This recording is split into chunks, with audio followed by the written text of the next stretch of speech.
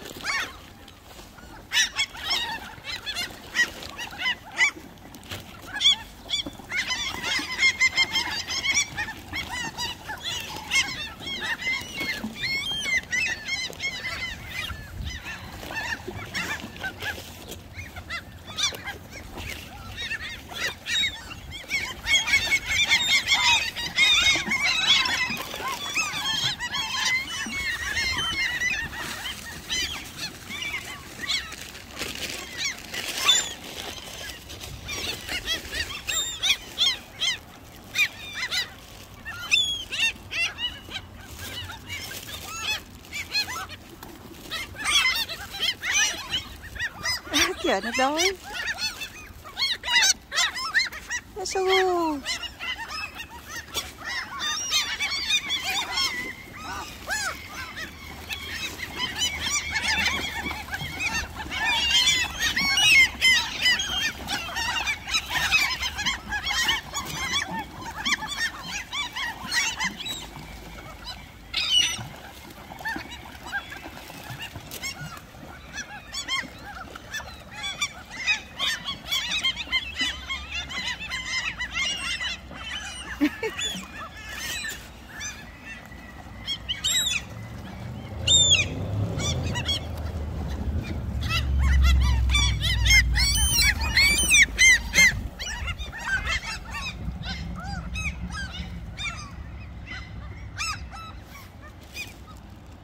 hai ổ bánh mì. À, nếu mà bà mua là khoảng à, 6 đô. Mà mình làm siêu thị mình lấy bánh mì cũ mình đem ra đây cho nó ăn.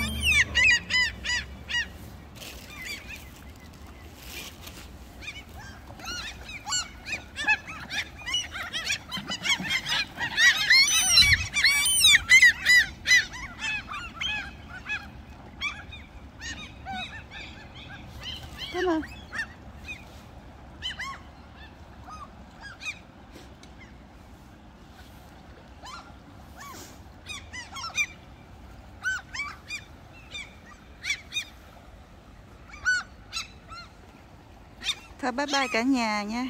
Hẹn gặp lại video kế tiếp. Tuần sau mình lại ra đây cho nó ăn nữa. Bye bye.